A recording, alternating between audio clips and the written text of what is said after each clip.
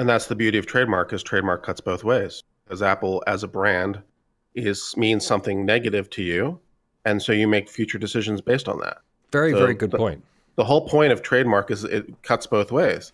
It's complicated is basically the answer Yeah. to this and many other legal questions. So, you guys, if you haven't seen it, you should go watch Louis Rossman's video about getting his batteries stolen by Apple. Hi. A few days ago, we published a piece with CBC that showcased how the Apple Store was trying to charge somebody between $1,200 to $2,000 for a machine that needed nothing other than an LCD display cable because somebody had accidentally bent it, most likely while trying to install their own screen. Here, just a few days later, crazy coincidence, imagine that, is that I had my parts seized by Customs. So let's just go over this letter where they explain to me why Apple and Customs seized batteries to a computer that at their store they will no longer service because they claim it's vintage. He claims that he had batteries that were being imported from uh, from being refurbished, and that those batteries were seized by customs as counterfeit. Now, our special guest here, Kurt Mueller, your favorite patent attorney, has done two videos already on the issue of customs enforcement and trademark. And I believe this even applies to patent and copyright as well. Kurt, do you want to um, you want to say anything about that? Yeah, you can go watch both videos. In the first video, I assumed that when he referred to them, he meant original as in Apple products, and then I considered the possibility that he might have meant refurbished batteries. And then there's to go to the trademark law question, which is the operative question for the moment. It's like if you're importing something that has Apple's branding on it, but it's refurbished, is it still Apple's product? And if not, then should Apple be able to exclude that? And the answer is maybe. So that's the analysis there. Um, I'm also going to post a link here to a PowerPoint presentation that I found on, it looks like the University of Dayton Law School's website.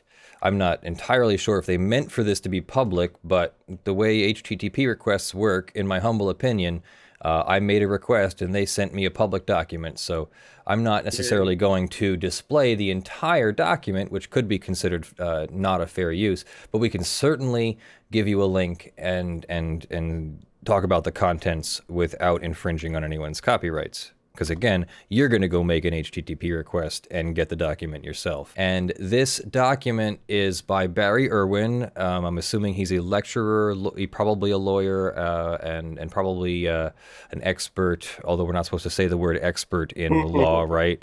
Uh, in in customs and trademark enforcement. The basically the way it works the short version, because I know we can get quite long here, the short version is that under Title 19 of the US Code, there is a way to enforce certain copyrights, trademarks, or patents in customs so that imported products cannot imported products that are counterfeits can potentially this is this is a very kind of rare thing that happens but potentially can be identified and uh, stopped before counterfeit goods enter the US. I'll give you my personal example without revealing confidential information. I represented a major corporation that does business internationally. They ship products worldwide. I, I cannot go into any more detail because someone could then guess which company. But I, worked, I, I represented them as their trademark attorney. And this particular company, ver- ver- very much like many other companies, had a problem with counterfeit goods. They actually had a display case of counterfeit goods that they had discovered over the years, and the counterfeits were really, really good looking counterfeits. The trouble is, a trademark is a identifier of the origin of goods, so a counterfeit is obviously invalidating or infringing upon that source of the goods because the counterfeit doesn't come from the original manufacturer, it comes from some third party. And as good as that product may look on the outside, it is usually a very cheap counterfeit product on the inside and usually not anywhere close to a proper original product, the quality of the original product. And even if it was the quality of the original product, it is still not coming from this, the correct origin, so it is still an infringement. But the major problem is that the, is that people will go and and associate the quality of the counterfeit with the goodwill or the the original business. Let's use the battery example real quick. Let's say you order some batteries online because this happens to me. I make e-bike batteries. That's what that glowing orange thing is back there which is apparently already dying. Thank you, 299 from CVS. The batteries I order for e-bikes, you have to be very careful because what, believe it or not, what, what counterfeit manufacturers do, they'll take the metal case of one of these batteries and wrapped up in here in a, in a, in a spiral is the lithium ion material and an insulator and a dielectric or something like that. And then it's connected to the terminals on each end. And what they'll do is they'll put less material in there, plus a couple weights, and then they'll close it, close it up and weld it like a regular cell. But it will be one third or less the capacity, just enough so that you can think it's taking a charge and think that it's working properly. But then why are my batteries dying so quickly?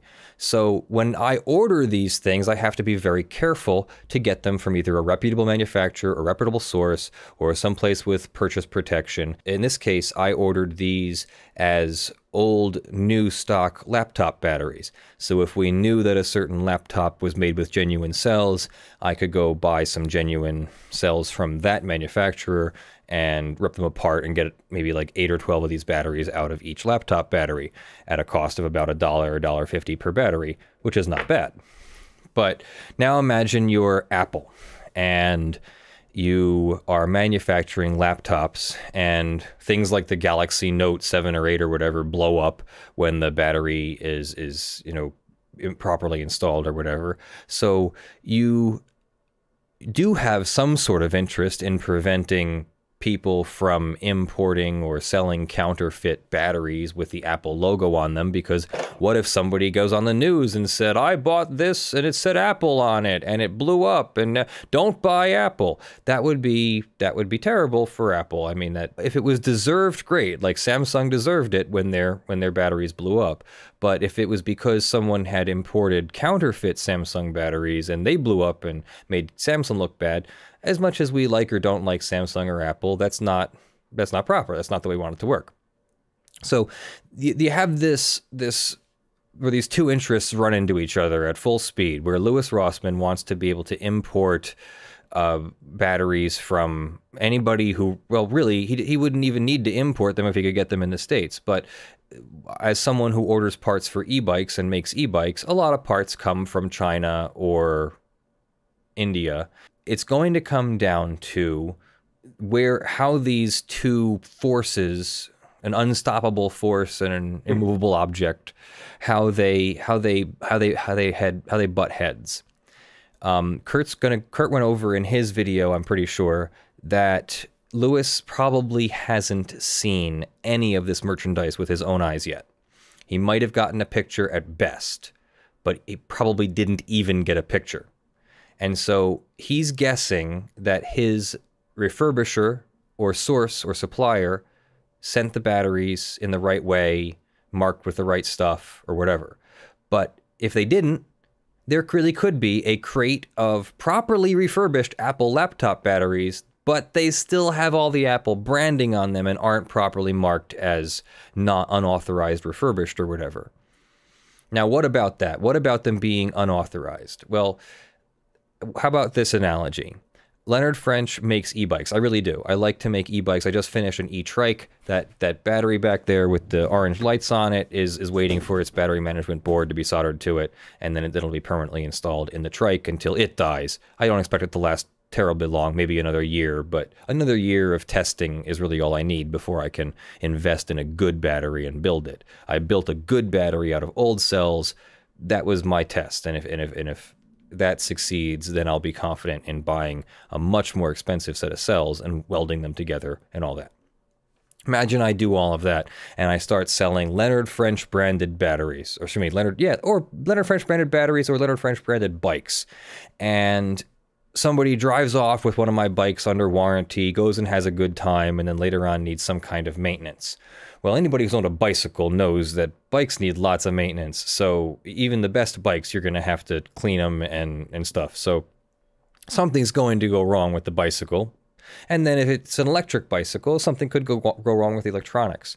One time I had a client who ordered a, a bike from a same manufacturer that I represent, but a different uh, location, and somehow they let him out of the building with the thing with the battery not seated properly and he got it onto the trails and the battery would unseat every time he hit a bump.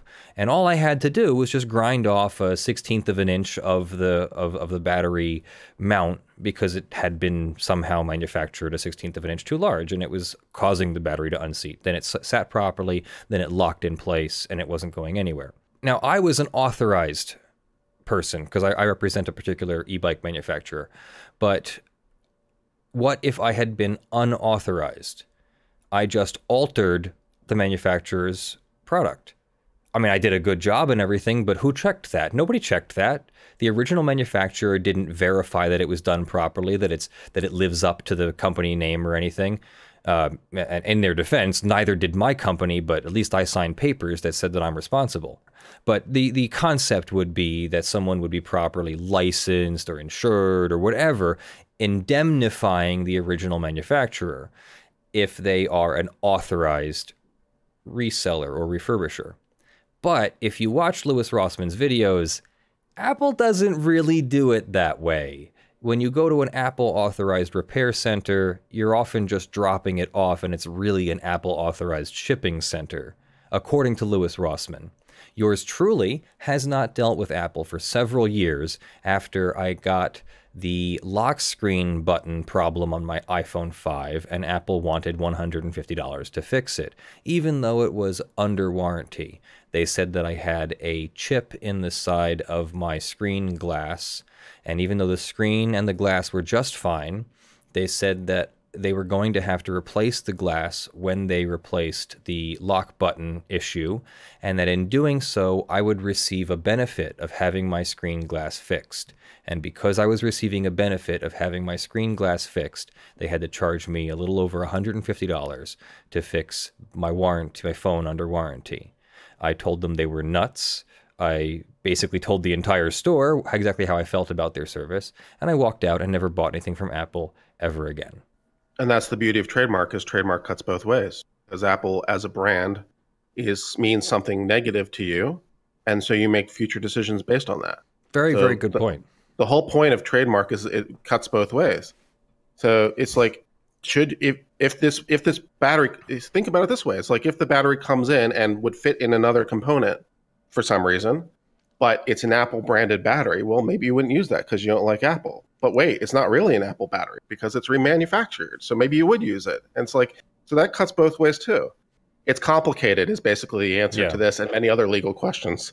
There are ways to report to Customs and Border Protection that you have counterfeit goods that that are that are that you I think are, are being imported into the country and should be identified and held.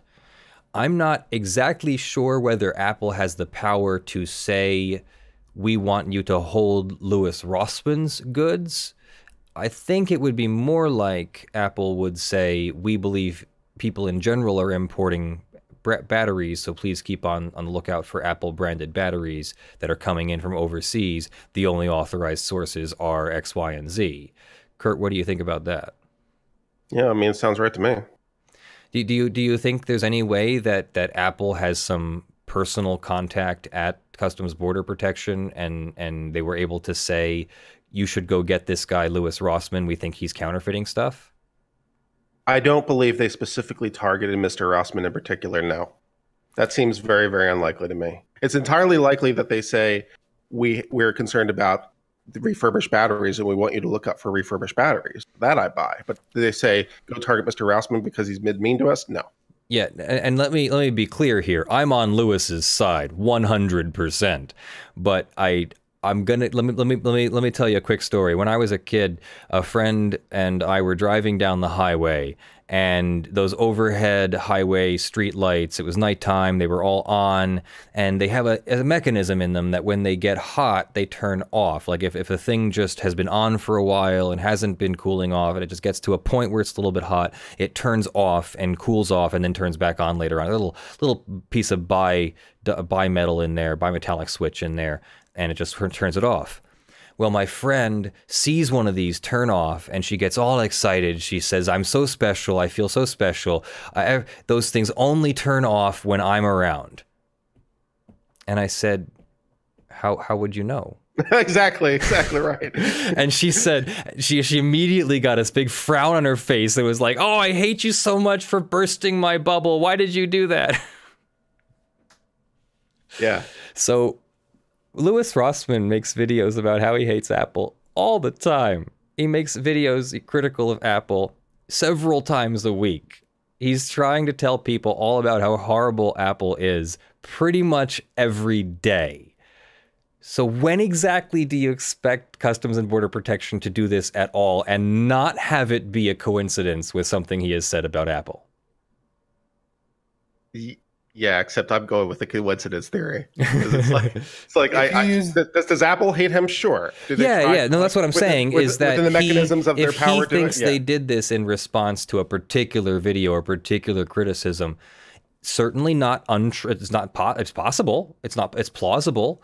But uh, I I don't think that we can statistically say that he makes videos critical of Apple every day. Therefore any one of those videos could be said to be well they did it because of this video. If, if they did it a month from now it'd be for so it'd be you know we would be saying or he would be saying oh they did it because of that video. So 19 USC 1499 authorizes examining goods for compliance with US laws including trademark. Goods that are suspected can be detained for up to 30 days the mark owner gets contacted under 19 Code of Federal Regulations, Section 13321. So Apple would have been contacted and told, here's the goods. Apple actually doesn't receive any information about the importer's identity. Meanwhile, Louis would have received unredacted photographs of the allegedly offending material. The mark owner then makes the decision on whether the detained merchandise is counterfeit or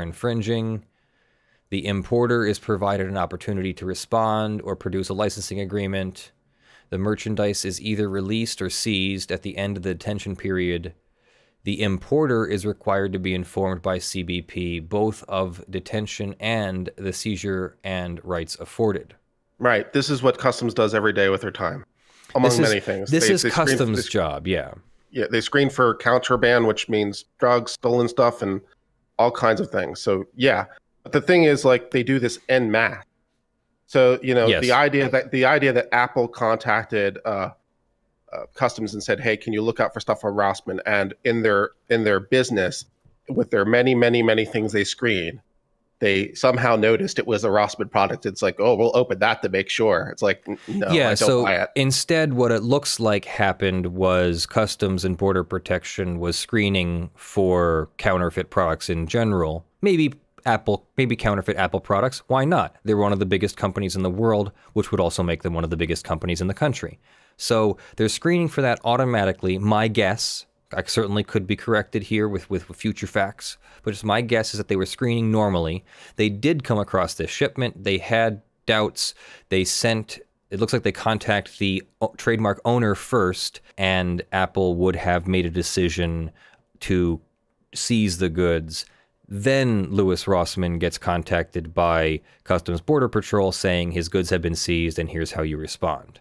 Then he puts out his video, and now here we are. He now has to respond. He'll probably hire a decent trademark litigator or someone with the international goods experience or something, and hopefully be able to respond to this with what's going on here. A um, couple ways a scenario could play out if the batteries are genuine but have been refurbished and still have an Apple logo, good question, right? Exactly.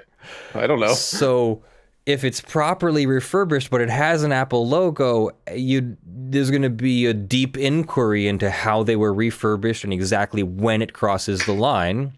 Because maybe refurbished simply means they wiped the outside of the battery with soap and water because it was dirty. That would seem to me to not be a violation of Apple's rights. But if they had to solder stuff to the batteries, or they had to like unsolder some cells and like replace bad cells with good cells and all that, eh, you're making a new battery now, and the quality of your solder joints and your welds and all that is going to affect the quality of the battery. So now take that Apple logo off of there and just sell it as a battery there's a line here is what I'm getting at is somewhere in there without going into hours and hours and hours of case law that you were uh, I mean I don't maybe you did it I don't know it but I didn't I didn't do the deep dive no. Yeah the deep dive is going to be we want to get paid man. I mean anybody would want to get paid. It's going to be hundreds of hours of research you know. If you don't know it already if you know this stuff already then of course you want to get paid because you learned all that.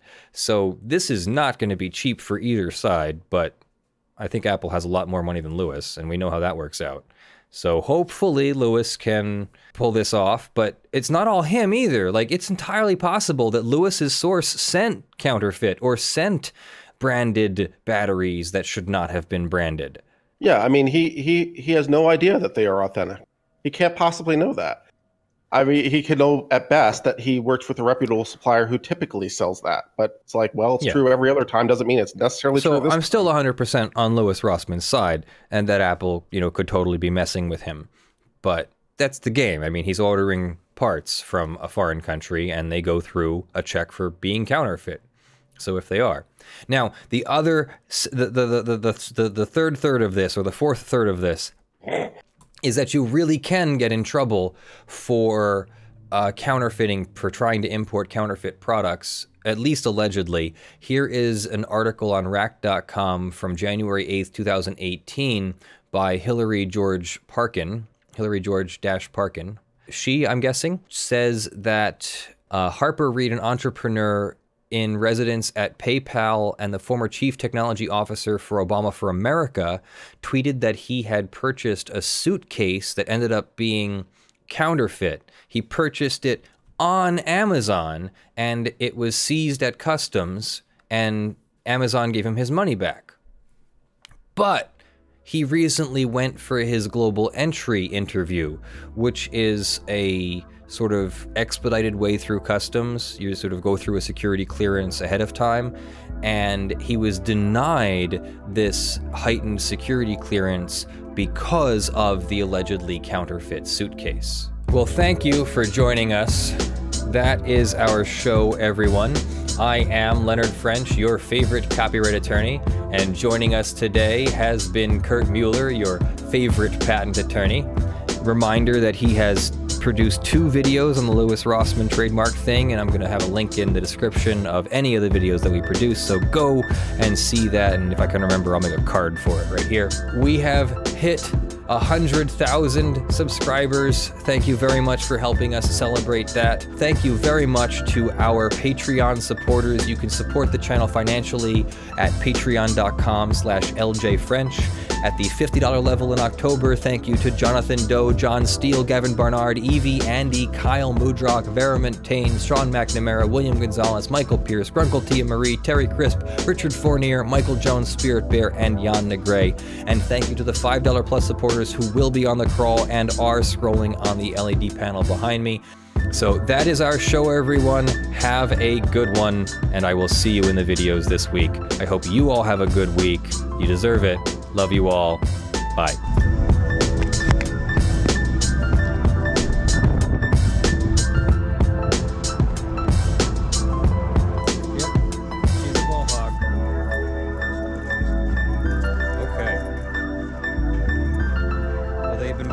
Do something all day. And why it decided to become very cloudy at this exact moment.